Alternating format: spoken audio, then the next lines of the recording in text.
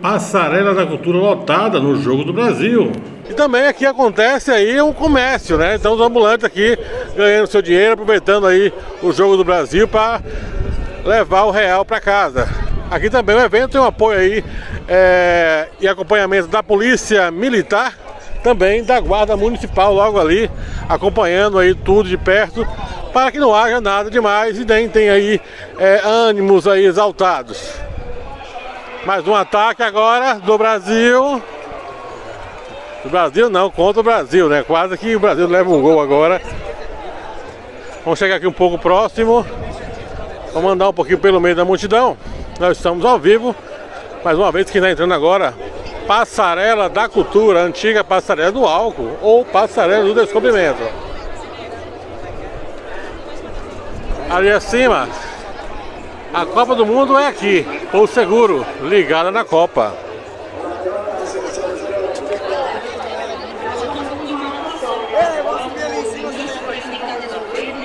Vamos mostrar aí realmente bastante pessoas assistindo o jogo.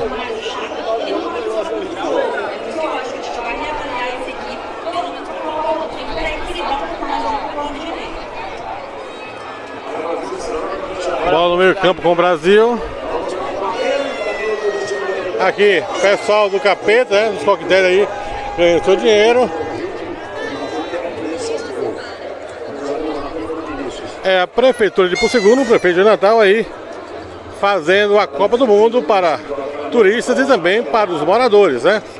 Sabemos que além aqui da Passarela do Descobrimento, Passarela da Cultura, também tem alguns pontos de transmissão do jogo, como na Praça do Relógio, no espaço do deck do Galo aqui na Tarifa.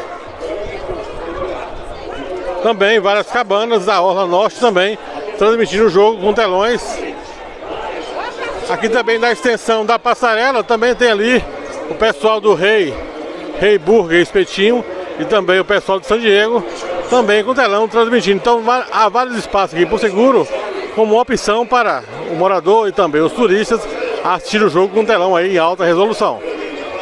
Neste momento quem está no ataque aí é a Suíça.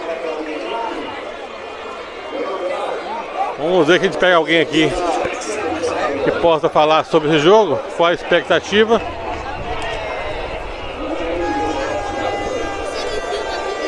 Você é da onde? Aí. Aí, o garotinho de Anápolis aqui vem torcer pelo Brasil, pediu para ser filmado. Todo mundo aqui tenso, aí já passou do meio do jogo do primeiro tempo, 41 minutos. E o jogo ainda 1 a 1 E agora a Suíça no ataque.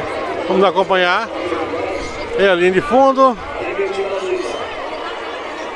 Passou para o meio. O Brasil recupera a bola e vamos no contra-ataque. E aí a galera vai aí, ó. Vai ao delírio, mas o Brasil mais uma vez já perdeu a bola. Falta aí sobre o Richarlison. É o jogo para muitas pessoas que já achavam que o jogo seria fácil, seria melhor do que o primeiro jogo, né? Está se mostrando um jogo bastante complicado para o Brasil.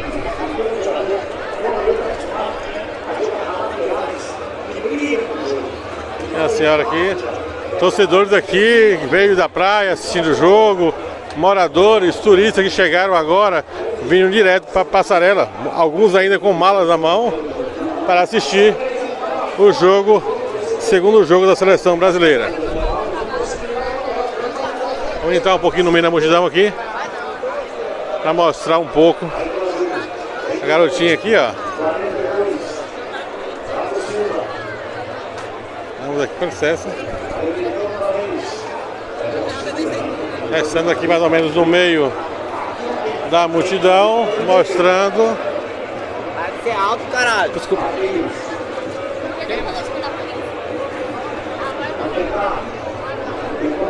Vamos chegar aqui um pouquinho para frente, com licença.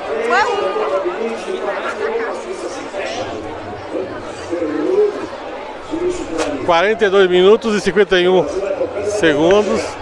Finalzinho do segundo tempo. O Brasil segue aí 0 a 0 contra a Suíça, segundo jogo. Após o primeiro tempo, nós vamos também mostrar é, o jogo em outros pontos da cidade. Vamos mostrar ali na passarela ou na Praça do Relógio e também na Praça de Alimentação. Agora aí, ó, o Brasil perdeu uma chance clara de gol. Então, como eu estava falando, vamos estar acompanhando o jogo também da Praça do Relógio. Lá vários quiosques, todos eles aí com televisões gigantes para acompanhar o jogo.